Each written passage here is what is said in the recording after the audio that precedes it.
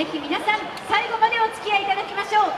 それではラストを飾りますのは一律船橋高校吹奏楽部ザ・よさこいチームの皆さんです。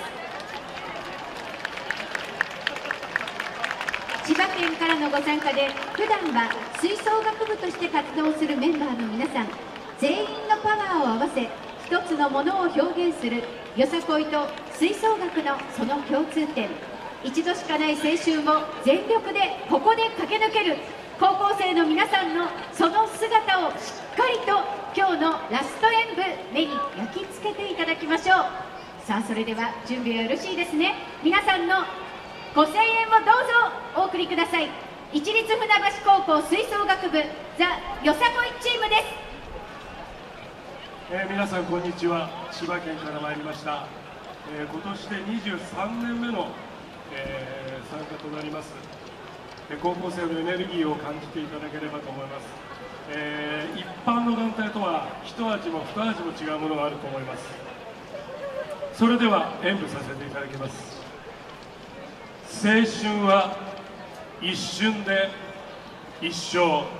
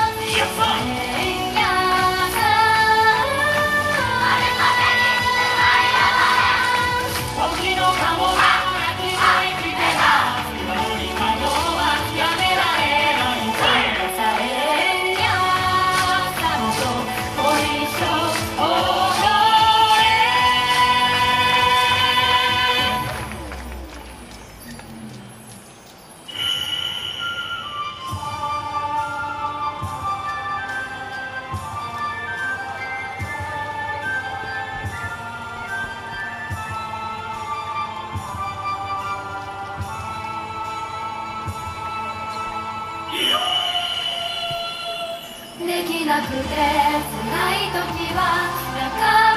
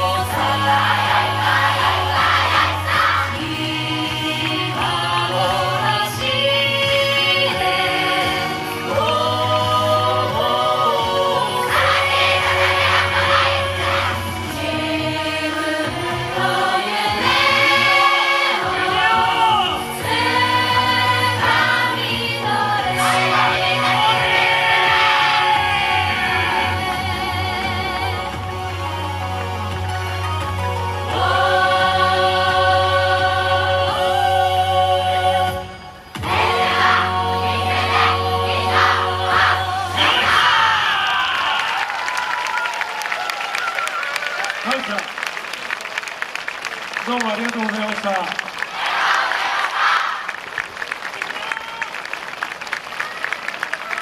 札幌ガーデンパーク会場今日の初日のラストを飾りましたのは市立船橋高校吹奏楽部ザ・よさこいの皆さんもう一度